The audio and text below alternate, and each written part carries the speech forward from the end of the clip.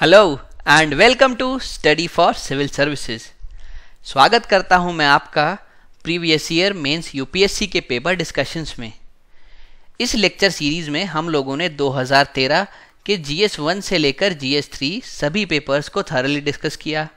वर्ष 2014 में हम लोगों ने जीएस टू तक डिस्कशन कर लिया। आज मैं आपके सामने लेकर आया हूँ जीएस थ्री वर्ष 2014 इस लेक्चर सीरीज़ में भाई हमने देखा क्या है? जो यूपीएससी क्वेश्चन पूछता है, उसके छोटे छोटे भाग कैसे करें? हर एक भाग को किस तरीके से उसकी डिमांड के अनुसार ही एड्रेस करें? किस तरीके से एक ऐसा आंसर लिखें, जो इन तीनों भागों को अच्छे से एड्रेस करता हो, इनकी पूर्ति करता हो, और कैसे एक अच्छा इफ़ेक्टिव भारी, भरकम आंसर तैयार किया जाए, जो कंटेंट से लदा हुआ हो। पूरी लेक्चर सीरीज़ में हमने कीवर्ड्स को पकड़ना जाना, हमने जाना कि भाई कैसे एक अप्रोच तैयार की जाए, कैसे स्ट्रैटेजी बनाई जाए, कैसे टाइम मैनेज करना है तो मेरी एक रिक्वेस्ट रहेगी, एक गुजारिश रहेगी। अगर आप लोगों ने मुझे इसी वीडियो से, इसी लेक्चर से ज्वाइन किया है तो प्लीज़ हमारे पुराने वीडियोस देखें। एक प्लेलिस्ट हमने आप लोगों के लिए तैयार कर दी है। सभी वीडियोस उसमें एक एक करके लगे हुए हैं। सब वीडियोस देखें। इन डेप्थ एनालिसिस से हमारी थरो जो है डिस्कशन से आपको बहुत अच्छा फ़ायदा मिलेगा। आपके आंसर्स को आप बहुत इम्प्रूव कर पाएँगे। फिर भले ही आपके यूपीएससी के मेंस हो या फिर कोई स्टेट के मेंस मैं दावा करता हूँ, आप एक अच्छा आंसर लिखने में सक्षम हो पाएँगे। तो प्लीज़ सभी वीडियोस देखें और फिर हमारे साथ कदम से कदम मिलाकर आगे बढ़ें। अगर आपको इस लेक्चर सीरीज़ की पीडीएफ चाहिए हो तो आप ज्वाइन कर सकते हैं हमारे पेड कोर्सेज ये पेड कोर्सेज जो हैं, ये टेलीग्राम पे अवेलेबल हैं। यहाँ पे हम आपको बहुत सारी सुविधाएँ देते हैं। जैसे कि आपको स्टडी मटेरियल दिया जाता है। दूसरी बात, अगर टीचर से आपको बात करनी है तो आप टीचर से वन टू वन इंटरेक्शन कर सकते हैं। उसके अलावा भी और भी जो स्टेट के एग्ज़ाम्स हैं पीसीएस एग्ज़ाम्स हैं, उन सब की भी आपको गाइडेंस दी जाती है। तो इस बारे में अगर आपको और भी इन्फॉर्मेशन चाहिए हो, आपको इंटरेस्ट हो तो आप इन दिए गए दो नंबरों पर संपर्क करें। हम आपकी ज़रूर सहायता करेंगे। तो आइए शुरू करते हैं हमारी आज की लेक्चर सीरीज़ जीएस का तीसरा भाग वर्ष 2014 में। शुरू में करता हूँ हर बार की तरह क्विक रिवीजन के साथ। आंसर लिखने से पहले ज़रूरी है आंसर के बेसिक को जाना जाए, उनमें उतरा जाए, उनको समझा जाए। तो आंसर लिखने से पहले ज़रूरी रहता है राइट अप्रोच राइट अप्रोच बनती कैसे है? कीवर्ड के द्वारा। कीवर्ड क्या है? ये क्वेश्चन में दिया होता है। क्वेश्चन के कीवर्ड को पकड़ के ही मेरे दिमाग में उससे संबंधित कंटेंट जनरेट होता है। अब ये कंटेंट तो आ गया भाई, लेकिन ये छः पॉइंट्स हैं, इनको अरेंज कैसे किया जाए? कौन सा पॉइंट ज़्यादा इंपॉर्टेंट है, जिसको ऊपर लिखा जाए, जिसको ज़्यादा डिस्कशन जिस पे किया जाए? कौन सा पॉइंट थोड़ा कम इंपॉर्टेंट है, जिसको एक पासिंग बाय रेफरेंस दे दिया जाए? ये सब आपके सेकेंड पॉइंट का पार्ट है, यानी अरेंजमेंट ऑफ़ कंटेंट अब इस अरेंजमेंट ऑफ़ कंटेंट के दौरान आपको ज़रूरी है टाइम का ध्यान रखना। टाइम जो है आपके पास रहता है सात से आठ मिनट पर क्वेश्चन इससे ज़्यादा टाइम अलॉट करेंगे तो बाद के क्वेश्चन को आप सफिशियंट टाइम नहीं दे पाएँगे, उससे आपके बाद के क्वेश्चंस कॉम्प्रोमाइज़ हो सकते हैं। इसके बाद ये है सबसे इंपॉर्टेंट पॉइंट ये है content is more important than its length content को भारी रखिए। आंसर को लंबा और भारी बनाने से कोई मतलब नहीं है। अगर वो 200 वर्ड्स की मांग कर रहा है क्वेश्चन तो आप कोशिश करें 170 से 180 में ही निपटा दें। लेकिन उस 170 से 180 में इतना अच्छा कंटेंट दें कि वहीं पे आपको बहुत अच्छे मार्क्स मिल सकें। इससे ये फ़ायदा भी होगा कि यहाँ पे आप हर एक क्वेश्चन के 20 जो वर्ड हैं, वो बचा पाएँगे। उससे आप कुछ नंबर ऑफ़ सेकंड्स बचा पाएँगे। ये जब सभी आंसर्स के आप एडअप करेंगे तो पेपर के एंड में आपके पास एक से दो क्वेश्चन करने का एक्स्ट्रा टाइम बचेगा। इस एक्स्ट्रा टाइम में आप ये दोनों क्वेश्चन भी अच्छे से अटैम्प्ट कर पाएँगे। तो इसी अप्रोच के साथ आप आगे बढ़ें। फिर उसके बाद जानते हैं हम फंडामेंटल्स को। देखिए, सबसे ज़रूरी है क्वेश्चन समझना। क्वेश्चन आप कैसे समझेंगे उसके कीवर्ड को पकड़ के। कीवर्ड क्या होता है? भाई कीवर्ड होता है क्वेश्चन में दिए गए कुछ ऐसे वर्ड्स जिससे ही पूरा क्वेश्चन किस तरीके से अप्रोच करना है, ये तय किया जाता है। जैसे क्रिटिकली एनालाइज डिस्कस इलेबोरेट ऐसे ही आता है कमेंट इलूसीडेट क्रिटिकली डिस्कस तो ये सब जो है, इनकी डिफरेंट अप्रोचेज हैं। अगर पाँच अलग अलग तरीके के कीवर्ड हैं तो उसमें पाँच अलग अलग तरीके के आंसर बन सकते हैं। और इसी तरीके से आपको मूव ऑन करना चाहिए। हर एक क्वेश्चन का कीवर्ड पकड़ें और उस कीवर्ड के अनुसार ही अपने आंसर को ढालें। उस अनुसार ही अपना आंसर तैयार करें। अब बात करते हैं आंसर की तो देखिए आंसर में सबसे शुरू करते हैं सबसे पहली चीज़ होती है इंट्रोडक्शन एक झलक है कि भाई मैं आंसर में क्या कहने जा रहा हूँ, एक टीज़र है। तो इसमें आप क्या करते हैं, इसमें आप जनरली डेफिनेशन से स्टार्ट कर सकते हैं, या क्या अभी आज के दौर में क्या सिनेरियो चल रहा है, या फिर अगर आपको कोई सन के बारे में इंफॉर्मेशन हो तो ईयर भी मेंशन कर सकते हैं। फिर उसके बाद आप जाते हैं बॉडी पे। कोशिश आप ये करते हैं कि यहाँ जिस पॉइंट पे आप छोड़ें बॉडी में आप उसी पॉइंट से उठाएँ। तो एक ये क्या ब्रिज स्थापित कर देता है। अगर आपके पास ब्रिज होगा तो आप इस कोने से इस कोने तक आसानी से जा पाएँगे। इसी तरीके से एग्जामिनर जब आपका आंसर पढ़ेगा तो वो इंट्रोडक्शन से बॉडी पे और बॉडी से कंक्लूजन पे आसानी से जा पाए। इसीलिए हम ये जो ब्रिज है, ये इस्टेब्लिश करते हैं। तो ये बॉडी हो गई। अब जो बॉडी है, ये आपका है वर्किंग एरिया यहाँ पे अपनी सारी क्रिएटिविटी दिखाइए, यहाँ पे अपना कंटेंट भरिए, यहाँ पे एविडेंस दीजिए केस को लड़िए, उसको जीतिए, अपने आंसर को भारी बनाइए। ये एविडेंस क्या है? ये हैं फैक्ट्स रिपोर्ट्स जजमेंट्स सेंसस के डेटाज मैप या फ्लो चार्ट्स और भी चीज़ हो सकती हैं, जैसे कि केस स्टडीज़ आपके पास अगर कोई हो फॉर एग्जांपल अगर आपको एजुकेशन के फ़ील्ड में कोई क्वेश्चन आए, उसमें केस स्टडी लिखनी हो तो आप केरला का मेंशन कर सकते हैं। अगर आपको किसी और चीज़ में मेंशन करना हो हेल्थ के परस्पेक्टिव में मेंशन करना हो तो आप किसी ऐसे स्टेट का नाम मेंशन कर सकते हैं, जिसने हाल ही में हेल्थ के फ़ील्ड में बहुत ही अच्छे रिजल्ट्स दिए हों। ये हो जाती हैं आपकी केस स्टडीज़ इससे भी आपको एक्स्ट्रा पॉइंट मिल जाते हैं अपने आंसर में। फाइनली उसके बाद आता है कंक्लूजन ये है मेरा क्वेश्चन को एंड करना। क्वेश्चन को जब भी एंड करें तो ये समझ लीजिए कि आपको बैलेंस्ड रहना है। ना तो आपको बनना है आलोचक, ना आपको बनना है समर्थक। भाई, आपको बनना है एडमिनिस्ट्रेटर। एक एडमिनिस्ट्रेटर जो है, वो मिडिल पाथ चूज़ करता है। ना वो इस तरफ़ झुकता है, ना वो इस तरफ़ झुकता है। वो इसके कुछ अच्छाइयाँ लेके, इसकी कुछ अच्छाइयाँ लेके अपनी फाइनली खुद की एक स्ट्रैटेजी प्रिपेयर करता है। तो आपको कंक्लूजन में यही करना है। कोशिश हम यही करते हैं कि हम बैलेंस्ड रहें, हम सकारात्मक रहें ऑप्टिमिस्टिक रहें और फाइनली एक सल्यूशन के साथ ही अपना आंसर एंड करें। तो ये जो है आपकी प्रॉब्लम सॉल्विंग अप्रोच को दर्शाता है। अगर आप में प्रॉब्लम सॉल्विंग अप्रोच है तो एग्जामिनर आपको एक्स्ट्रा मार्क्स देने पे मजबूर हो जाता है। क्योंकि आप जो एग्ज़ाम दे रहे हैं, वह है एडमिनिस्ट्रेटर के लिए। जब आप एडमिनिस्ट्रेटर के लिए एग्ज़ाम में अपियर हो रहे हैं तो आपके पास एक प्रॉब्लम सॉल्विंग अप्रोच होना बहुत ज़रूरी है। अब आती है आंसर लिखने की बारी। आंसर दो तरीके से लिखा जा सकता है। एक है पैराग्राफ्स में, वो कुछ इस तरीके से दिखेगा। ये हो गया आपका इंट्रोडक्शन ये हो गई बॉडी और ये हो गया कंक्लूजन एक है पॉइंट फॉर्मेट में, ये आपका दिखेगा कुछ इस तरीके से। ये इंट्रोडक्शन हो गया, ये बॉडी के पॉइंट्स हो गए और ये कंक्लूजन हो गया। दोनों ही अप्रोचेस बिल्कुल सही हैं, किसी में कोई भी बुराई नहीं है। बस दोनों को जो भी आप अडॉप्ट करें, उस दौरान एक चीज़ का ध्यान रखें अगर ये पैराग्राफ वाली अप्रोच आप अडॉप्ट करते हैं तो एक डेटा फ्लो बना के रखें। डेटा फ्लो क्या है? डेटा फ्लो है पहले शब्द से आखिरी शब्द तक जानने में जब एग्जामिनर आपका आंसर पढ़े तो उसको एक सिंगल पीस लगे, एक पूरा, एक सिंगल टुकड़ा लगे। ऐसा नहीं है कि बहुत सारे छोटे छोटे टुकड़े जो हैं रखे हुए यहाँ वहाँ। तो इससे क्या है? एग्जामिनर शुरू से लेकर लास्ट वर्ड तक आराम से बहता चला जाएगा। इसको कहते हैं डेटा फ्लो अब बात आती है, भाई, ये बनता कैसे है? ये बनता है कुछ वर्ड्स के थ्रू जैसे कि moreover however also further अतिरिक्त, इसके अतिरिक्त हालाँकि, इस तरीके के शब्द लिख के आप पुराने स्टेटमेंट और इस वाले स्टेटमेंट में एक कनेक्ट एस्टैब्लिश कर सकते हैं। अब अगर आप पॉइंट फॉर्म अपनाते हैं तो ध्यान रखिएगा, इसमें सब हेडिंग ज़रूर दीजिए। सब हेडिंग देने से आपका आंसर पढ़ना बहुत आसान हो जाता है। आंसर वेल स्ट्रक्चराइज लगता है। ऐसा लगता है अच्छे से ऑर्गेनाइज आंसर है और आसानी से उसमें मार्क्स मिल सकते हैं। ये जो सब हेडिंग बनाएँ, ये क्वेश्चन के ही जो डिमांड है, उसको मीट करने के लिए बनाएँ। फॉर एग्ज़ाम्पल क्वेश्चन आपसे बोल रहा है इवोल्यूशन लिखो। क्वेश्चन आपसे बोल रहा है कि आप उसके इम्पैक्ट्स लिखो। तो आप अपना पहला जो है, वो इवोल्यूशन को दें और दूसरा जो सब हेडिंग है, वो बनाएँ इम्पैक्ट को। फिर इसके अंदर का कंटेंट भरें। ध्यान आपको ये रखना है, अगर ये वाली अप्रोच भी अपनाई जाए तो भी इंट्रो और कंक्लूजन पे मिस ना करें। वो ज़रूर दें। आइए अब शुरू करते हैं हमारा 2014 वर्ष का जीएस थ्री का पेपर।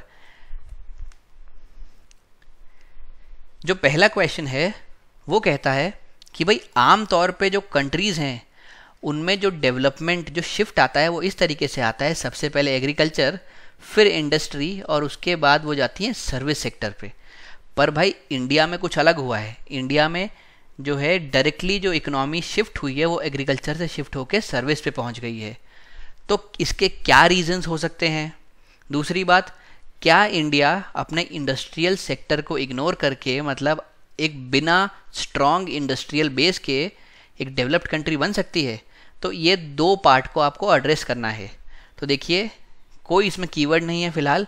अगर मैं क्वेश्चन को तोड़ूं तो ये दो हिस्सों में टूट के मेरे सामने आता है। पहला है कि भाई जनरली क्या ट्रेंड फॉलो होता है? एग्रीकल्चर से इंडस्ट्री इंडस्ट्री से सर्विस पर इंडिया ने थोड़ा चेंज कर दी चीज़ को. इंडिया ने क्या एग्रीकल्चर से डायरेक्टली जंप कर दिया? सर्विस पे. उसने इंडस्ट्री को छोड़ दिया. तो ऐसा क्यों हुआ? क्या रीजंस है इतना ग्रोथ के? और क्या इस चीज़ के छूटे छूटे ही इंडिया डेवलप्ड नेशन बनने के सोच सकता है? इन दोनों बातों को आपको एड्रेस करना है. अप्रोच आपकी ये रहेगी कि शुरुआत में ट्रेंड बताएँ कि भाई यूजुअल ट्रेंड क्या होता है और इंडिया ने क्या अपनाया। फिर आप जाएँ बॉडी पे। बॉडी में आप लिखें जो ये ट्रेंड इंडिया ने अपनाया है, इसका क्या रीज़न है।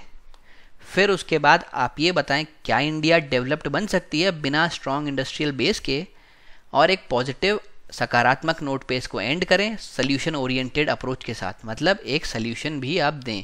इसका हल निकालें कि भाई अगर इंडिया ने ऐसा ऐसा किया तो फिर आगे हमारे लिए बहुत जो है ब्राइट फ्यूचर वेट कर रहा है। तो इस तरीके से आप अप्रोच अपनी अडॉप्ट करें। देखिए, आंसर में क्या किया है? मैंने शुरुआत में बताया है कि जो प्रॉपर पाथ एक इकोनॉमी फॉलो करती है, डेवलपिंग कंट्री अगर कोई भी हो तो वो क्या होता है? एग्रीकल्चर से मैन्युफैक्चरिंग यानी इंडस्ट्री। उसके बाद सर्विस। ये क्या होता है? ये ग्रेजुअल डाइवर्सिफिकेशन में हेल्प करता है। धीरे धीरे डाइवर्सिफाई होती है आपकी जो इंडस्ट्री है, जो इकोनॉमी है। लेकिन लेकिन इंडिया ने क्या किया? इंडिया ने लीप फ्रॉग कर दिया। मतलब इंडस्ट्री के ऊपर से कूद के डायरेक्टली वो सर्विस पे पहुँच गई एग्रीकल्चर से। तो अब मैंने बताया इसके रीजंस देखिए, मैंने यहाँ पे इस स्टेटमेंट पे छोड़ा कि इंडिया ऐसे कूद गई। अब आपने आगे बताया क्यों कूदी? क्या रीजंस थे? तो ये एक ब्रिज एस्टैब्लिश हो गया जिसकी हम शुरुआत में बात कर रहे थे। एक कनेक्ट एस्टैब्लिश हो गया। तो देखिए, सबसे पहले तो क्या रीजन थे? बूस्ट इन सर्विस सेक्टर तो बूस्ट इन सर्विस सेक्टर क्यों आया?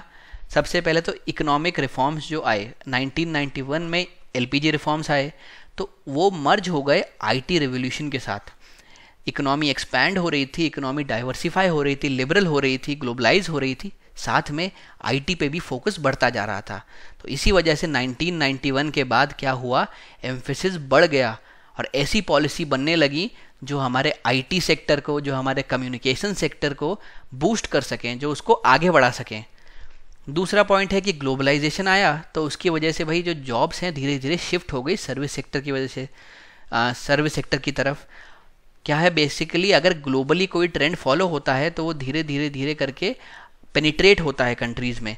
तो ग्लोबली आईटी में उस समय बूम था।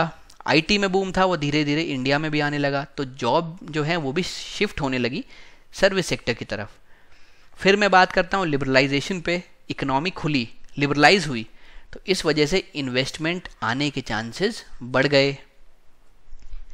हमारे पास धीरे धीरे स्किल्ड लेबर की अच्छी खासी अवेलेबिलिटी हो गई, अच्छी मात्रा में स्टॉक जमा हो गया, जो कि कम कॉस्ट पे काम करने को तैयार थे। तो इस वजह से बाहर जो भी कंपनी हमको देख रही थी, उनके लिए ये और अच्छी अपॉर्चुनिटी हो गई। और उसी समय जो सर्विस सेक्टर था ग्लोबली वो राइस पे था। तो बाहर की विदेशी कंपनियों ने देखा तो उनको यहाँ पे चीप लेबर अवेलेबल हो गया, स्किल्ड लेबर वो भी। उन लोगों के लिए अच्छी अपॉर्चुनिटी बन गई। हम लोगों के लिए एम्प्लॉयमेंट में वृद्धि हुई। तो इस वजह से सर्विस सेक्टर एकदम से बूम पे आ गया। अगला मैंने पॉइंट लिया है इंडस्ट्रियल सेक्टर क्यों पीछे रह गया? देखिए, मैंने क्वेश्चन को दो तरीके से तोड़ के समझा है। क्योंकि इंडिया जो है वो इंडस्ट्रियल सेक्टर कूद के सीधे सर्विस सेक्टर पे पहुँच गई। तो ये सेक्टर क्यों पीछे रह गया और ये सेक्टर क्यों आगे निकला? तभी आपका कंप्लीट आंसर डेवलप होगा। तो पहले पार्ट में मैंने ये बताया अगले पार्ट में बताऊँगा ये क्यों पीछे रह गया। तो देखिए इंडस्ट्रियल सेक, जो सेक्टर है इसलिए एक सेटबैक पे था क्योंकि कोई भी इंडस्ट्रियल पॉलिसी उस समय नहीं थी। 1980 से बात की जाए अगर 2011 तक कोई भी डेडिकेटेड इंडस्ट्रियल पॉलिसी मौजूद नहीं थी। उसके बाद अगर बात करें डिसइन्वेस्टमेंट की तो डिसइन्वेस्टमेंट बढ़ते चले गए, जिस वजह से भी मैन्युफैक्चरिंग सेक्टर ने एक सेटबैक फेस किया। धीरे से क्या हुआ? वहाँ पे रेस्ट्रिक्शंस लगने शुरू हो गए। और शुरुआत में तो आप समझेंगे कि 1980s के आसपास बहुत ज़बरदस्त रेस्ट्रिक्शंस थे तो फॉरेन इन्वेस्टमेंट नहीं आ पाता था। अगर इन्वेस्टमेंट नहीं आएगा तो कैपिटल डेवलपमेंट नहीं होगा एम्प्लॉयमेंट जनरेशन नहीं होगा। ये सब चीज़ें नहीं हो रही थी, इस वजह से एक सेटबैक आया इसको। कोई खास स्टेप्स नहीं लिए गए प्राइवेट इंडस्ट्रीज़ को प्रमोट करने के लिए। पावर और ट्रांसपोर्टेशन जो है बैकबोन की तरह काम करते हैं इंफ्रास्ट्रक्चर में, उन्होंने भी बैडली सफ़र किया। इस वजह से, क्योंकि इसके बाकी लिम्स जो हैं, वो बैडली सफ़र कर रहे थे इंडस्ट्रियल सेक्टर ने एज अ सेक्टर कम्प्लीटली एक सेटबैक फेस किया। तो जो सर्विस सेक्टर है, वो तो आगे बढ़ रहा था इंडस्ट्रियल सेक्टर पीछे रह रहा था। तो इसीलिए इंडिया में एकदम से सर्विस का बूम आया और इंडस्ट्रियल सेक्टर को एकदम से लीप फ्रॉक कर दिया गया। तो ये आपने आंसर के दो पहलुओं को समझाया। अब आपका अगला पार्ट है, क्या इंडिया एक डेवलप्ड कंट्री बन सकती है? अगर वो अपने इंडस्ट्रियल बेस पे आज भी ध्यान ना दे तो। तो भाई ये संभव नहीं है। इंडस्ट्री तो बैकबोन होती है। तो बस उसी को अपन को एक्सप्लेन करना है। देखिए, India however can not turn into a developed country बिना इंडस्ट्रियल बेस के। कैन नॉट ठीक है? तो अब अपन ने यहाँ पे तीन सेक्टर्स को ले लिया, तीनों का ज़िक्र किया, पहली बात एग्रीकल्चर सेक्टर भाई, ये करीब पंद्रह परसेंट ऑफ़ जीडीपी कंट्रीब्यूट करता है, लेकिन सबसे ज़्यादा एम्प्लॉयमेंट यही जनरेट करता है इंडिया में अराउंड पचास परसेंट। लेकिन यहाँ पे दिक्कत यह है कि डिस्गाइज एम्प्लॉयमेंट बहुत है। डिस्गाइज एम्प्लॉयमेंट क्या होता है अब? ये ऐसा एम्प्लॉयमेंट है, समझ लीजिए एक खेत है जहाँ पे दो आदमियों के काम करने से ही यहाँ पे अगर सौ किलो चावल प्रोड्यूस होते हैं। अब आप वहीं पे समझे, लेकिन उसी खेत में करीब आठ लोग काम कर रहे हैं और फिर भी सौ किलो चावल ही प्रोड्यूस कर रहे हैं। तो आप समझे, दो लोग अगर सौ किलो कर सकते हैं तो ये छः लोग फालतू में ज़बरदस्ती वहाँ बैठे हैं। तो एम्प्लॉयमेंट में तो घुसे हुए हैं, लेकिन उनका कोई प्रोडक्टिविटी नहीं है। तो इस तरीके के एम्प्लॉयमेंट को कहते हैं डिस्काइज एम्प्लॉयमेंट एग्रीकल्चर में यही है। एक खेत में, एक फ़ील्ड में बहुत सारे लोग इन्वॉल्व हैं। प्रोडक्टिविटी नहीं बढ़ रही है, बस वो लोग ये दिखा रहे हैं कि हम लोग एम्प्लॉयड हैं। तो ये डिस्गाइज एम्प्लॉयमेंट का एक जो है नेगेटिव पॉइंट है। तो ये ऑब्स्टिकल की तरह काम करेगा डेवलप्ड कंट्री बनने में। सर्विस सेक्टर की बात करें सर्विस सेक्टर हालाँकि 50 परसेंट से ज़्यादा शेयर रखता है जीडीपी में, लेकिन बहुत कम लेबर फोर्स एब्जॉर्व कर पाता है। क्यों? क्योंकि भाई सर्विस सेक्टर में आने के लिए आपको स्किल्स आनी चाहिए। आपको आईटी की नॉलेज होनी चाहिए, आपको कम्युनिकेशन की नॉलेज होनी चाहिए। इंडिया में बहुत ज़्यादा पॉपुलेशन है जो अनऑर्गेनाइज सेक्टर में है, जिसके पास इतनी स्किल्स नहीं है। अब हमारे स्कीम्स आई हैं जो स्किल डेवलप करा रही हैं, पर पहले ऐसी स्कीम्स नहीं थी जो स्किल डेवलपमेंट पे फोकस करे, जो लोगों को स्किलफुल बनाए, उनको उस तरीके से आगे बढ़ाए। तो इसीलिए स्किल की कमी होने के कारण कम लेबर फोर्स ऐसी है जो यहाँ पे एब्जॉर्ब हो पाती है। हालाँकि जीडीपी में इसका शेयर अच्छा है, पर एम्प्लॉयमेंट नहीं दे रही है। तो फिर कहाँ जाएँ? भाई, देखो एग्रीकल्चर जो है एम्प्लॉयमेंट दे रहा है, पर जीडीपी में शेयर नहीं दे रहा। प्रोडक्टिविटी कम है। प्रोडक्टिविटी तो है इसकी ज़्यादा, लेकिन इंडिया में इतनी पॉपुलेशन है तो अगर आप सबको एम्प्लॉयमेंट नहीं दोगे तो डेमोग्राफिक डिविडेंड क्या क्या होगा हमारे? तो इसलिए एक रास्ता बचता है, वो है आपका मैन्युफैक्चरिंग सेक्टर वो है आपका इंडस्ट्रियल सेक्टर तो इसीलिए ज़रूरी है हमको इंडस्ट्रियल सेक्टर पे जाने के लिए अभी इंडिया की बहुत ज़्यादा इम्पोर्ट डिपेंडेंस है, आप लोगों को पता है। बहुत हैवी इम्पोर्ट डिपेंडेंस है हम लोगों की।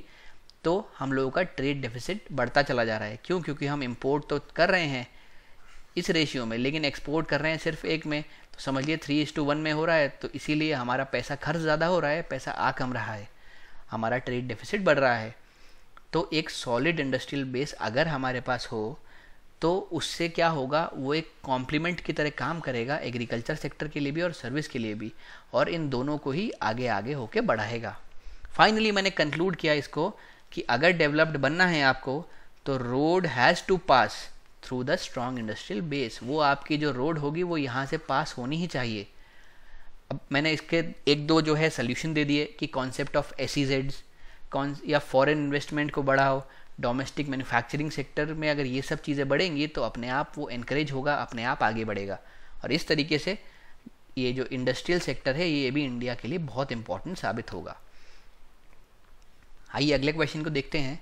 अगला क्वेश्चन है डेमोग्राफिक डिविडेंड से रिलेटेड ये टर्म क्या है? ये टर्म बेसिकली वो है वर्किंग पॉपुलेशन जो है इंडिया की, जो आज के समय में काम करके कुछ प्रोडक्टिविटी जनरेट कर सकती है, उसको हम कहते हैं डेमोग्राफिक डिविडेंड इंडिया के पास अच्छी बात यह है कि बहुत ज़बरदस्त डेमोग्राफिक डिविडेंड है। लेकिन हम लोगों के पास प्रॉब्लम ये है कि हम उसको जॉब्स नहीं दे पा रहे। एम्प्लॉयबिलिटी की प्रॉब्लम है। आज भी बेरोज़गारी बहुत ज़्यादा है। तो वो कह रहा है जो ये है, कम, हम कहाँ पे हैं जो कमी छूट रही है? कहाँ पे मिस कर रहे हैं? और where will the jobs that India desperately needs ये कहाँ से आएँगी? ऐसी जॉब जो इंडिया को अभी चाहिए कहाँ से आएँगी? और हम कहाँ पे पीछे हैं? कहाँ पे हम लैक कर रहे हैं। इसमें जो है कीवर्ड है हमारा एक्सप्लेन तो एक्सप्लेन मतलब जो ये पूरी सिनेरियो दिया है कि भाई हमारे पास डेमोग्राफिक डिविडेंड तो अच्छा है, लेकिन जो है बेरोज़गारी भी अच्छी है, काफ़ी ज़्यादा है। तो हम कहाँ पे मिस कर रहे हैं और ये कहाँ से जॉब्स हमारी जनरेट होनी चाहिए? तो इस पूरी चीज़ को एक डिटेल्ड डिस्कशंस के तौर पे समझाएँ। फिर उसके बाद अगर क्वेश्चन को आप तोड़ के देखें तो देखिए इंडिया क्वेश्चन कह रहा है, इंडिया के पास बहुत अच्छा डेमोग्राफिक डिविडेंट है फ्लॉन्ट करता है वो डेमोग्राफिक डिविडेंट अपना, लेकिन एम्प्लॉयमेंट रेट्स उसके गिरते जा रहे हैं। इसमें वो कुछ अच्छा नहीं कर पा रहा। तो कहाँ हम पीछे छूट रहे हैं और कहाँ से ऐसी जॉब्स आनी चाहिए? अप्रोच इसमें ये रहेगी कि हम लोग तो भाई शुरू मैं करता हूँ यहाँ पे डेमोग्राफिक डिविडेंड के बारे में बताते हुए। क्या होता है ये? इसके होने के बावजूद इंडिया क्या प्रॉब्लम्स फेस कर रहा है?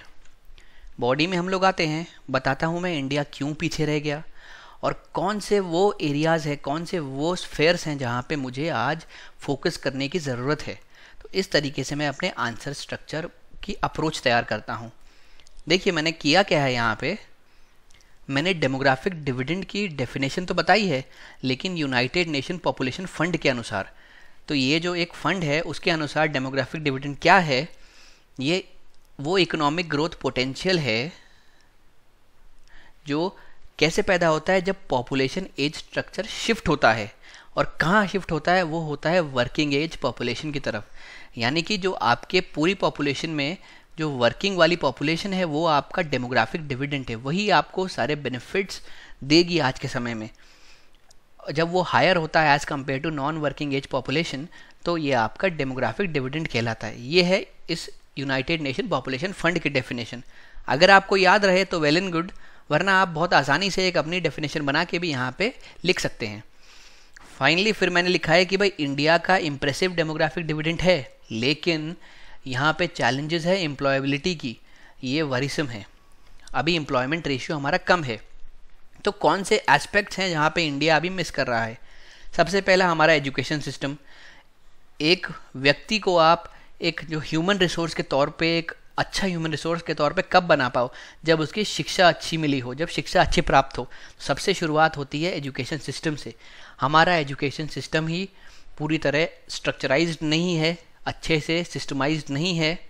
उसके बाद क्वालिटी अच्छी नहीं है स्कूल में जो एजुकेशन है। एक रिपोर्ट आई है एसर की रिपोर्ट उसके अनुसार जो कि एक प्रथम एनजीओ है, वो कराता है इस रिपोर्ट को, और ये रूरल एरियाज़ में होती हैं। इसके अनुसार, भाई एनरोलमेंट तो हाई है।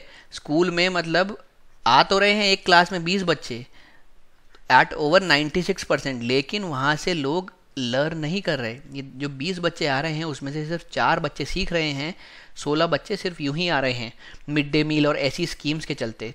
तो ये जो है, ये एनरोलमेंट तो बढ़ा रहा है, लेकिन क्वालिटी नहीं बढ़ा रहा। और और उसके बाद दूसरी बात आप पकड़ें तो आफ्टर थ्री ईयर्स स्टडी ने रिवील किया कि 60 परसेंट बच्चे जो हैं, वो अभी भी पढ़ नहीं सकते। और सिर्फ़ क्या पढ़ सकते हैं? फ़र्स्ट नेम अपना। और ये आज से चार साल पहले 54 परसेंट था। तो देखिए, अभी जो है, स्थिति और ख़राब हो गई है। पहले अगर चौवन परसेंट बच्चे अपना सिर्फ़ आगे का नाम ही पढ़ पाते थे, स्कूल में जाने के बावजूद तो आज वो चीज़ सिक्सटी परसेंट हो गई है। तो मतलब कंडीशन और ज़्यादा गंभीर हो रही है। उसके बाद स्कूल की बात हो गई, अब देखिए हायर एजुकेशन की बात। यहाँ भी बहुत अच्छा नहीं है। टॉप हंड्रेड जो इंस्टीट्यूट है विश्व भर के, उसमें इंडिया में से कोई भी इंस्टीट्यूट नहीं आता है। ये बहुत ही गंभीर पिक्चर हमारे सामने प्रेजेंट करता है। इतने आई इतने आई हैं इंडिया में आईआईएससी बेंगलुरु में है, लेकिन वो कहीं भी टॉप हंड्रेड में फेयर नहीं करते दुनिया के। उसके बाद हम लोग स्किल डेवलपमेंट में फोकस करते ही नहीं हैं। आते आते बहुत सारे इंस्टीट्यूट आते चले जा रहे हैं लेकिन क्वालिटी वो भी प्रोवाइड नहीं कर रहे हैं। लो स्किल्ड एम्प्लॉयमेंट होता है इस वजह से, क्योंकि आपके पास डिज़ायर्ड जो है स्किल नहीं है। डिस्गाइज एम्प्लॉयमेंट बढ़ रहा है, अपन ने पढ़ा था पहले। मैन्युफैक्चरिंग सेक्टर की बात करें तो उसके पास पोटेंशियल है कि वो बहुत सारी वर्कफोर्स एब्जॉर्ब कर सकता है और इस डिस्गाइज्ड अनएम्प्लॉयमेंट को हटा सकता है। लेकिन ये सेक्टर खुद ही अभी अच्छे से काम नहीं कर रहा तो ये कहाँ से लोगों को एब्जॉर्ब करेगा? और हमारे देश में अब हालाँकि फोकस बढ़ रहा है, पर ये एक पॉइंट है कि फोकस कम दिया जाता है ऑन्ट्रप्रन्योरशिप डेवलपमेंट पे। ये एरिया है जहाँ पे अगर आप हाई फोकस देंगे तो आप अच्छे बेनिफिट्स आगे जाके रीप कर सकते हैं। In order to get the maximum out of India demographic dividend the need of the hour is to increase employability आपको रोज़गार बढ़ाना पड़ेगा, तभी आपका जो डेमोग्राफिक डिविडेंट है, आप कहते हैं कि बहुत अच्छा है इंडिया में, उसका कोई फ़ायदा हो पाएगा। काम करने के लिए लेबर तो है, लेकिन उनके लिए काम नहीं है तो वो फालतू पड़े हैं अनप्रोडक्टिव वर्क्स में इन्वॉल्व हैं तो वो आपको बनाने पड़ेंगे, ऐसे जॉब्स आपको क्रिएट करनी पड़ेंगी। तो भाई, अगला पॉइंट है, इंडिया को क्या चाहिए? सबसे पहले मैन्युफैक्चरिंग सेक्टर को बूस्ट मिले आगे बढ़े वो। तो इसके लिए जो मेक इन इंडिया जैसी स्कीमें हैं, इनको और ज़्यादा ज़ोर से चलाने की ज़रूरत है, और ज़्यादा ज़ोरों, शोरों से चलाने की ज़रूरत है। वोकेशनल ट्रेनिंग की ज़रूरत है स्किल डेवलपमेंट की ज़रूरत है। वोकेशनल ट्रेनिंग क्या होती है? देखिए, ये एक ऐसी ट्रेनिंग है जो आपको दी जाए यही सोच के कि आप एक पर्टिकुलर इंडस्ट्री या पर्टिकुलर सेक्टर में वर्क करने जा रहे हैं। फॉर एग्ज़ाम्पल अगर आपको कल को सिलाई मशीन की किसी फैक्ट्री में वर्क करना है या सिलाई से रिलेटेड कोई काम करना है तो आपको मैं ट्रेनिंग दूँगा सिलाई की। तो ये जो सिलाई की ट्रेनिंग है, यही आपका पूरा वोकेशनल कोर्स की तरह काम करेगा। समझाने का मतलब मेरा ये है, ये मैंने आपको एग्ज़ाम्पल के तौर पे एक लेमन लैंग्वेज में समझाया कि भाई ऐसी ट्रेनिंग जो कि इंडस्ट्री को फोकस करके दी जाए, वो वोकेशनल ट्रेनिंग होती है। अगर हम ये ज़्यादा दें डेवलप करें स्किल्स को बढ़ावा दें तो एम्पावरमेंट होगा हमारी वर्किंग पॉपुलेशन का। उनमें जो है स्किल्स भी इनकॉर्पोरेट होंगी। तो ये जो है फाइनली लीड करेगा। ज़्यादा बेहतर जॉब्स में ज़्यादा लोग एम्प्लॉय होंगे, ज़्यादा इनकम होगी, देश का विकास होगा। इसके लिए जो योज, जैसी योजनाएँ चल रही हैं, प्रधानमंत्री कौशल विकास योजना स्किल इंडिया मिशन ऐसे और मिशन लागू करने, इनको अच्छे से इम्प्लीमेंट करना ये ज़रूरत है अभी। अगर हम growth of small and medium enterprise की बात करें तो ये ग्रोथ अभी अच्छी नहीं है। इसकी ग्रोथ पे हमको फोकस करने की ज़रूरत है, क्योंकि अभी स्मॉल एंड मीडियम एंटरप्राइज ऐसी एंटरप्राइज है जो बहुत सारे लोगों को, बहुत सारे वर्कफोर्स को एब्जॉर्व कर सकती है। उसमें हाई लेबर फोर्स की रिक्वायरमेंट होती है और उसका एक्सेस भी ज़्यादा होता है रिमोटेस्ट एरिया तक। तो अगर आप ऐसी इंडस्ट्रीज़ को बढ़ावा देंगे तो यहाँ पे ज़्यादा लोग एम्प्लॉय हो पाएँगे। धीरे धीरे अपने आप ही जो एम्प्लॉयबिलिटी कम है, उसकी प्रॉब्लम रिजॉल्व हो पाएगी। इसके लिए हमने मुद्रा योजना जैसी स्कीम चला रखी हैं, जिसमें हम आराम से लोन देते हैं, पैसा देते हैं फाइनेंस उनका बूस्ट करते हैं, जिससे उनको किसी तरीके की ऑब्स्टिकल कोई दिक्कत फेस ना करनी पड़े। एम्प्लॉयमेंट जनरेशन स्कीम्स हम लोग चला रहे हैं, प्रधानमंत्री एम्प्लॉयमेंट जनरेशन प्रोग्राम्स उसके बाद हमको ज़रूरत है एफ़ डी इंक्रीज़ करने की इस सेक्टर में। हमको एजुकेशन सेक्टर को पूरा रिवैम्प करने की ज़रूरत है। एजुकेशन सेक्टर जो आपका है, वही आपकी नींव बनता है। अगर आप कल एक अच्छे ह्यूमन रिसोर्स की तरह इवॉल्व होना चाहते हैं डेवलप होना चाहते हैं तो आपकी एजुकेशन उसमें बहुत बड़ा रोल प्ले करती है। अगर आपको अच्छी एजुकेशन मिली है तो आप एक प्रोडक्टिव ह्यूमन रिसोर्स का काम कर सकते हैं। तो इसीलिए इसको रिवैम्प करना बहुत ज़रूरी ज़रूरी है। तो ये अपन ने डील किया ये वाला क्वेश्चन मैंने इसके बहुत अलग अलग तरीक़ों से आपको बताया, हर एक पार्ट को अच्छे से डील किया। अगले क्वेश्चन की तरफ़ बढ़ते हैं। ये है APMC से रिलेटेड यानी कि एग्रीकल्चरल प्रोड्यूस मार्केट कमिटीज़ कृषि उत्पादन बाज़ार समिति। तो पूरा क्वेश्चन इसी के अराउंड घूमता है। क्वेश्चन कह रहा है कि भाई जो एपीएमसी हैं, ये सेटअप हुए हैं स्टेट एक्ट्स के अंदर। लेकिन इन्होंने दो चीज़ें ख़राब की हैं। क्या सबसे पहले तो उन्होंने एग्रीकल्चर के डेवलपमेंट पे एक ऑब्स्टिकल की भूमिका निभाई है। एक बाधा की तरह ये उभरे हैं। और दूसरी बात, इन्होंने फ़ूड इन्फ्लेशन भी कॉज किया है। क्या जिससे कि प्राइसेस बढ़ गए हैं लोगों के लिए, मुश्किल हो गया ख़रीदना। तो ये इनके दो जो हैं प्रॉब्लम्स हैं। तो इसी को आपको क्रिटिकली एग्जामिन करना है। जब बात आती है क्रिटिकली एग्जामिन की तो देखिए इसमें क्रिटिकली एक अलग टर्म जुड़ा हुआ है। तो क्रिटिकली में आपको क्या है? आपको बहुत ग्रेट डिटेल में एक बात को इंस्पेक्ट करना है। आपको उससे संबंधित सभी फैक्ट्स सभी तथ्य वहाँ पे पेश करने हैं। आपको प्रॉपरली इवेलुएट करना है। फिर आपको उसके गुड और बैड एस्पेक्ट्स को देखते हुए, अच्छे और बुरे चीज़ों को देखते हुए एक बैलेंस्ड नोट पे इसको ख़त्म करना है। इस तरीके से आप क्रिटिकली एग्जामिन वाले क्वेश्चंस को डील करते हैं। जो भी आपका सब्जेक्ट है, उसको अच्छे से ध्यान से अंदर तक, उसके तह तक जाके उसको इंस्पेक्ट करें। यहाँ पे इस चीज़ को कैसे आप ज़्यादा ज़ोर करेंगे, अपने एविडेंस के साथ, अपने एग्जाम्पल्स के साथ। फाइनली इस चीज़ के आपने अच्छे बताए और बुरे बताए, लेकिन एंड में अच्छे बुरे की बात नहीं एंड में हम लोग रहेंगे बैलेंस्ड तो ये आपकी अप्रोच रहती है जब क्रिटिकली एग्जामिन वाले क्वेश्चंस को आप डील करते हैं। आइए क्वेश्चन को अपन देखते हैं एक बार।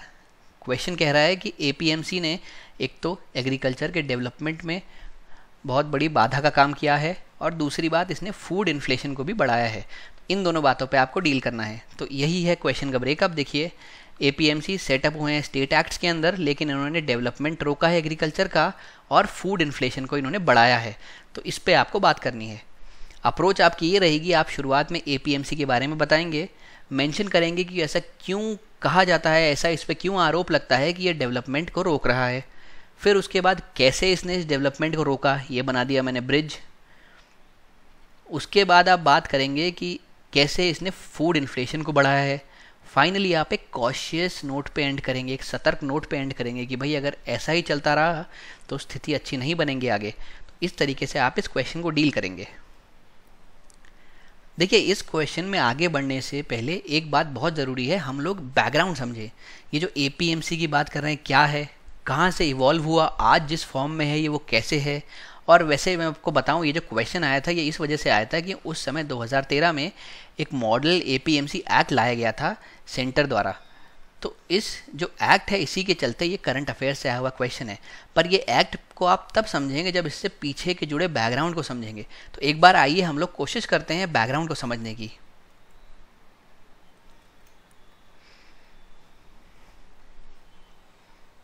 तो आप ये देखिए भाई, ये कहानी शुरू हुई है एग्रीकल्चर से। जो एग्रीकल्चर है, वो है आपका स्टेट का सब्जेक्ट आपको ये बात मालूम है स्टेट लिस्ट में है ये। तो इस वजह से क्या है इस वजह से ये बात आती है 1950 के आसपास की। ज़्यादातर जो स्टेट्स हैं, उन्होंने अपना जो है एपीएमसी एक्ट लागू किया। एपीएमसी एक्ट जो है वो लागू किया। अब ये एपीएमसी एक्ट क्या है? एपीएमसी होता क्या है? तो देखिए, इसमें कुछ नहीं है। मैं आपको आसान भाषा में समझाने की कोशिश करता हूँ। मान लीजिए, ये हमारा एक स्टेट है कोई भी। तो इस स्टेट को क्या छोटे छोटे हिस्सों में बांटा गया।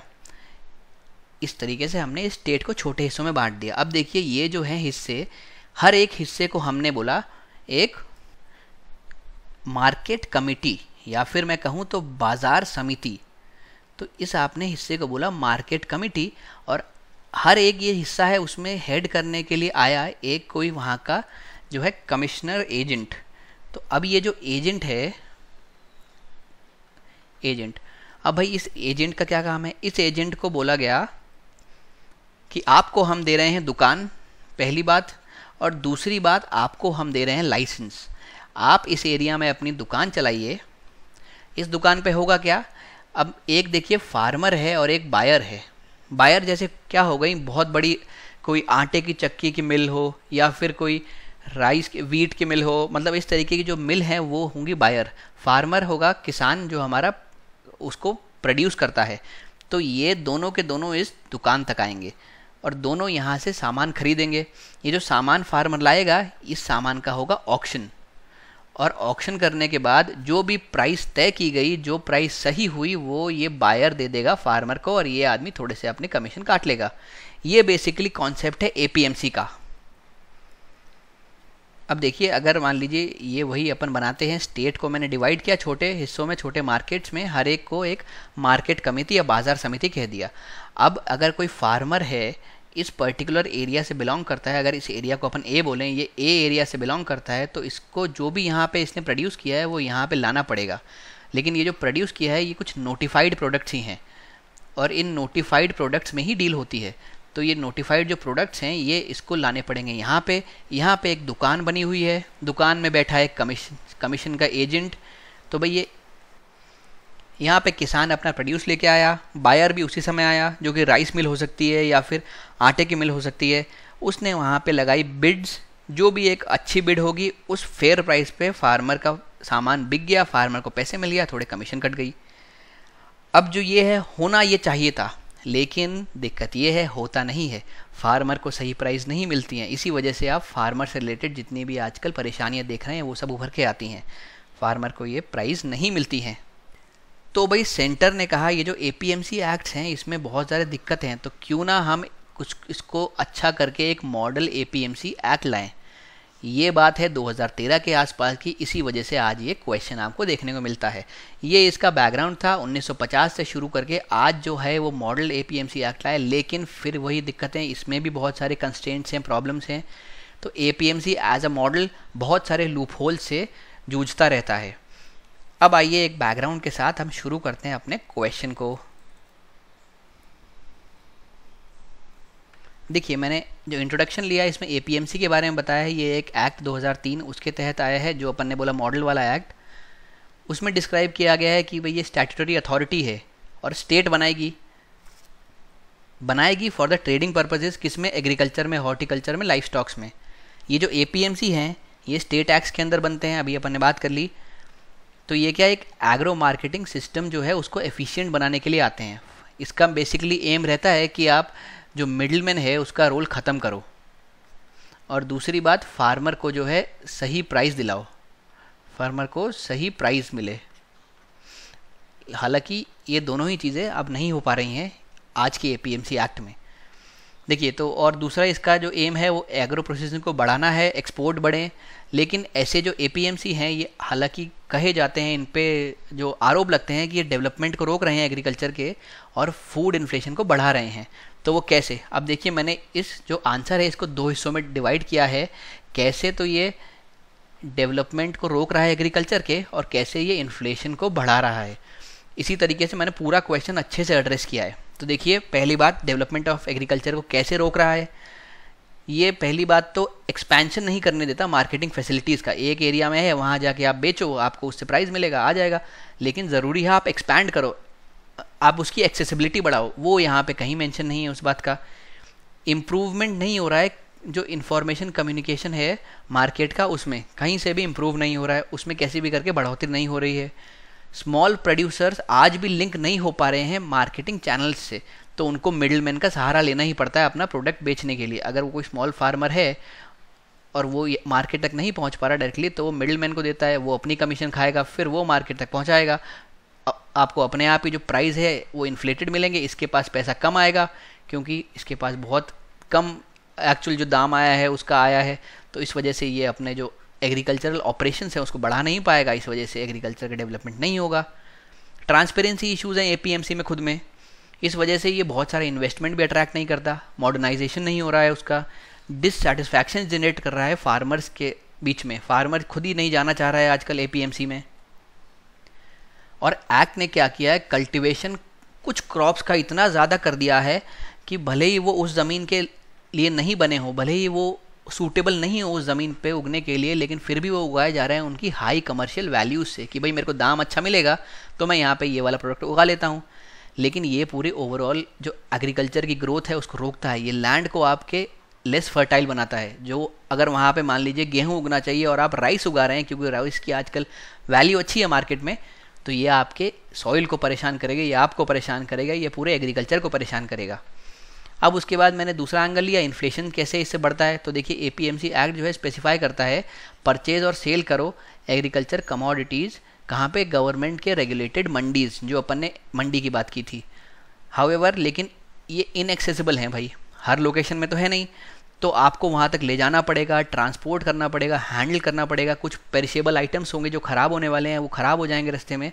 कमीशन देनी पड़ेंगी एजेंट्स को, मंडी में टैक्स देने पड़ेंगे। तो देखिए, अपने आप जो फाइनल प्राइस होगी, अगर दस रुपये थी तो ये सब ऐड हो हो के वो चीज़ आज आपके पास पचास रुपये में आएगी।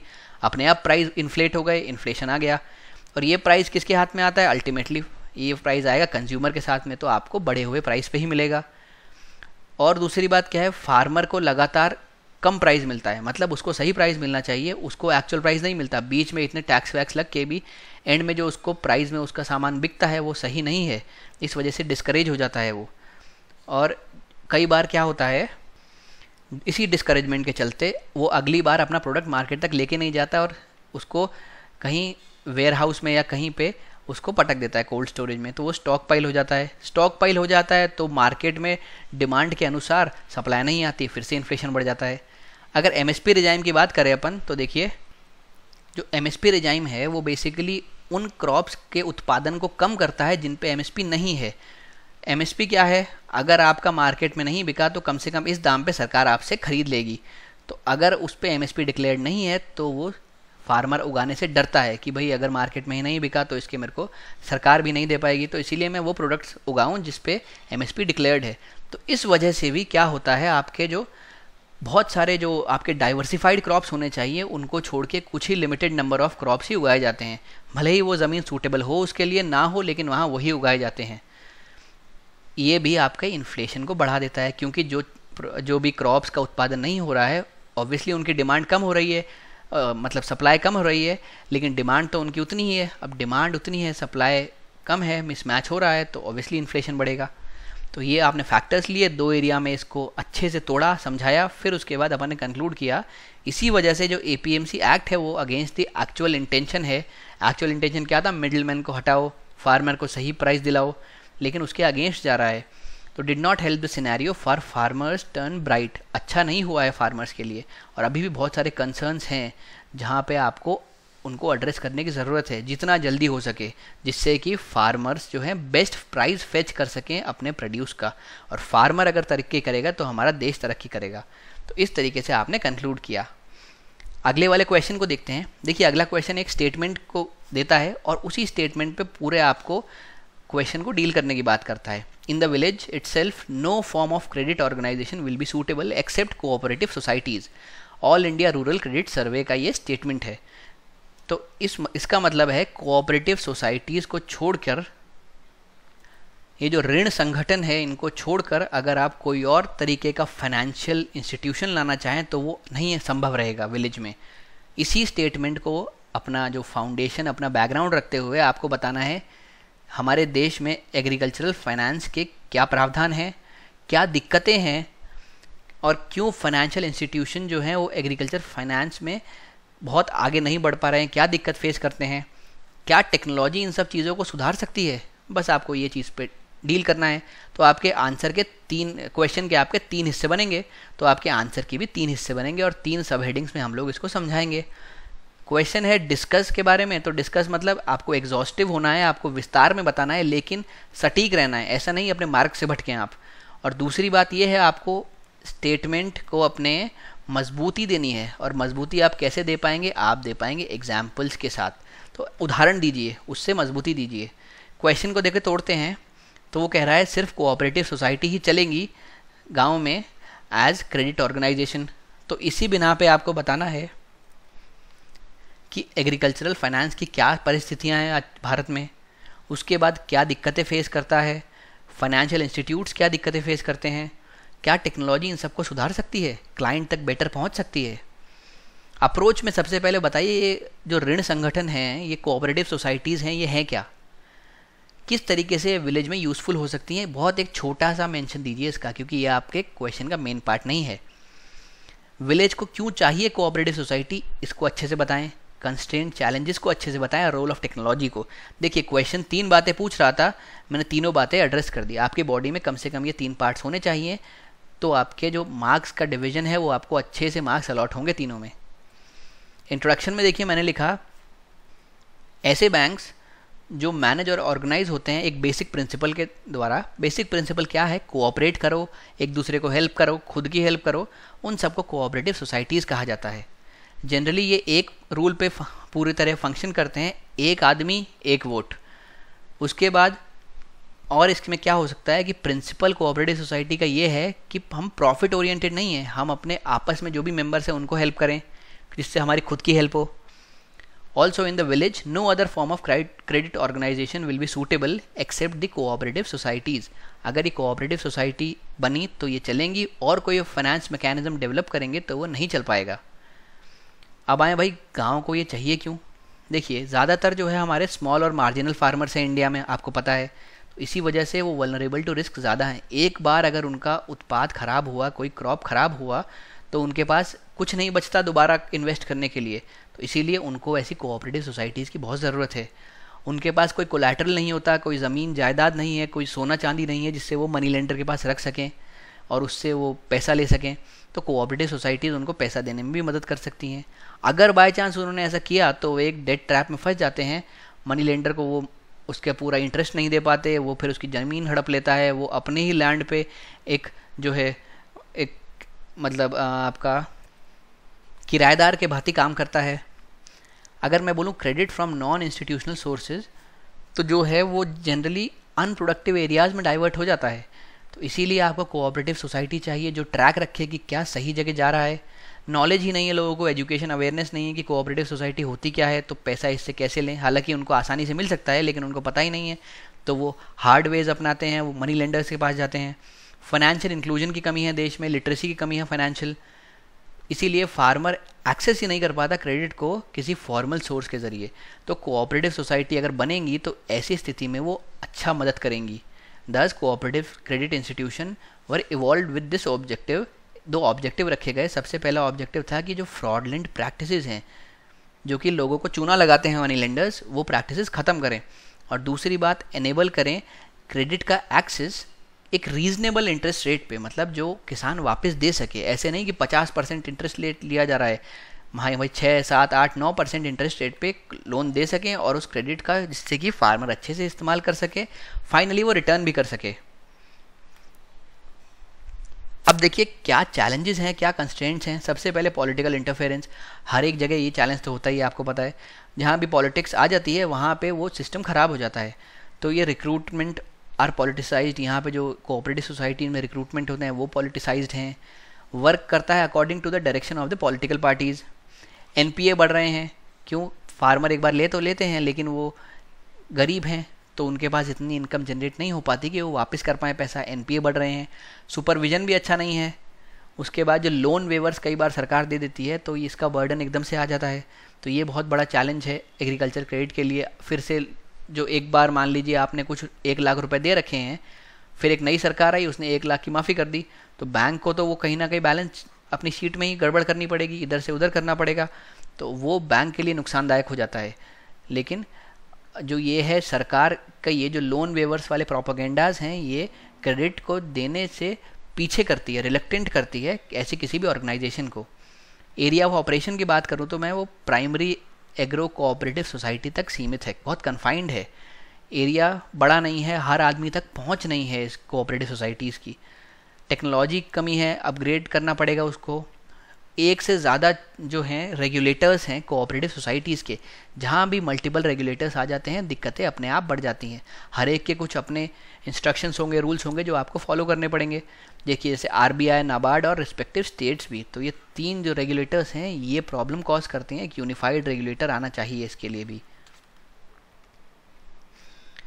तो भाई आप टेक्नोलॉजी को इस्तेमाल करके कैसे सुधार ला सकते हो? सबसे पहले एक डेटाबेस क्रिएट कर सकते हैं हम लोग टेक्नोलॉजी की मदद से। उससे क्या? आसानी से जो भी ऑर्गेनाइजेशन आएगी वहाँ पे, उसको वहाँ पे मौजूद किसानों की इन्फॉर्मेशन मिल जाएगी कि भाई जो इतने प्रतिशत किसान हैं, ये स्मॉल और मार्जिनल हैं, ये है रिच बाकी जो है बीच के हैं तो इनको ज़्यादा ज़रूरत है तो इनको पहले दिया जाए क्रेडिट इस तरीके के आप अच्छे से कोऑर्डिनेट कर पाएँगे टारगेटिंग अच्छी हो पाएगी। फिर हम स्मार्ट कार्ड का इस्तेमाल कर सकते हैं, उससे क्या? डुप्लीकेशन नहीं होगा। अगर किसी ने एक बार ले लिया तो वो दोबारा नहीं ले पाएगा। या फिर एक बार ले लिया, फिर दूसरी बार, दूसरी, कोई भाई बंधु उसका आ गया तो उसको भी नहीं मिलेगा। मतलब इस तरीके की डुप्लीकेशन फ्रॉड नहीं होंगे। तो क्रेडिट जो है दिया गया है, वो अच्छी जगह इस्तेमाल होगा प्रोडक्टिव कामों में होगा। दूसरी बात ऑथेंटिसिटी बढ़ेगी। जैसे कि आधार के आने से टारगेटिंग बेटर हुई है। फिर डी बी आ गया तो फिर जो पैसा है, जो सब्सिडी है, वो डायरेक्टली आपके खाते में ट्रांसफ़र हो जाती है। तो इससे मिडिलमैन का रोल बिल्कुल ख़त्म हो गया है तो वो भी एलिमिनेट हो जाएगा। टेक्नोलॉजी जो है उससे आप अवेयरनेस भी फैला सकते हैं एसएमएस भेज सकते हैं आप मोबाइल पे या फिर आप व्हाट्सएप मैसेजेस आते हैं वीडियोज़ आते हैं, इस तरीके से कुछ शेयर कर सकते हैं जिससे कि अवेयरनेस आपकी बढ़े। फाइनली मिडिलमैन जो है नहीं होगा तो किसी तरीके का आपको डेड ट्रैप भी नहीं होगा। तो इस तरीके से तीन पार्ट में हमने इस क्वेश्चन को डील किया और तीनों ही पार्ट्स को पूरी तरह से एड्रेस भी कर दिया। अगले क्वेश्चन पे आते हैं। देखिए, ये पूरी तरह क्वेश्चन जो है करंट अफेयर्स का क्वेश्चन है। आज के टाइम के लिए रेलिवेंट नहीं है क्योंकि उस समय ये जो एक्ट आया था L land acquisition rehabilitation and resettlement act 2013 उसमें एक नया प्रावधान right to fair compensation and transparency ये इफ़ेक्ट में आया था। इस वजह से क्वेश्चन पूछा गया है। हम लोग एक स्ट्रक्चर डिस्कस कर लेते हैं इसका, लेकिन इसका पूरा मॉडल आंसर डिस्कस करने का अभी के टाइम पे मतलब नहीं है। रेलेवेंस कम है। क्यों ना हम लोग वो क्वेश्चन पे ज़्यादा ज़ोर डालें जो अभी के टाइम पे रेलेवेंट है। तो इसीलिए मैंने इस क्वेश्चन की अप्रोच तैयार कर दी है, पर मॉडल आंसर मैंने नहीं तैयार किया। वो आप अप्रोच देख के एक बार खुद लिखने की कोशिश करें। देखिए इकोनॉमिक डेवलपमेंट से क्वेश्चन है, कोई कीवर्ड नहीं है। मैंने क्वेश्चन को तोड़ा एलएआरआर एक्ट की बात हो रही है। उसमें क्या एक राइट टू फेयर कंपनसेशन जुड़ा था, जो कि इफ़ेक्ट में आया एक जनवरी 2014 से, इसीलिए 2014 की यूपीएससी के पेपर में पूछा गया। जो मेन इश्यूज़ क्या प्रेवलेंट हैं, जो एक्ट ने एड्रेस कर दिया मतलब पहले क्या इश्यूज़ थे और आज वो किस तरीके से एड्रेस्ड हैं, और इम्प्लीकेशन क्या है इसका इंडस्ट्री पे और एग्रीकल्चर पे। अप्रोच देखिए, ऐसी फॉलो करेंगे। सबसे पहले आप मेंशन करिए इस एक्ट के बारे में और ये जो नया चीज़ जो ऐड हुई है, उसके बारे में। उसके बाद आप ये बताएँ कि क्या सिनेरियो प्रेवलेंट था एक्ट के पहले। उसके बाद एक्ट आने से किस तरीके से ये जो दिक्कतें हैं, इसको सॉल्व किया गया है। तो आप इश्यूज़ प्रेवलेंट क्या थे और कैसे सिनेरियो बदल दिया गया, ये बताएँ। फाइनली आप तीसरे पार्ट में ये बोले कि एग्रीकल्चर और इंडस्ट्रियलाइजेशन पे ये इसका कैसे फ़र्क पड़ा है? तो दो बना लें, इसमें भी आप सब हेडिंग्स एग्रीकल्चर और इंडस्ट्रियलाइजेशन और इसके अंदर कंटेंट भरें। फाइनली कोशिश करें ऑप्टिमिस्टिक सकारात्मक नोट पे एंड करें कि अगर इस तरीके से चीज़ें टैकल की गई तो आगे ये जो एक्ट है, इसमें क्षमता है बहुत कुछ कर जाने की। तो इस तरीके से आपकी एक अच्छी अप्रोच डेवलप हो गई। अब आप एक बार इस पर क्वेश्चन का आंसर करने की कोशिश करें। तो आज के लिए इतना ही। Thank you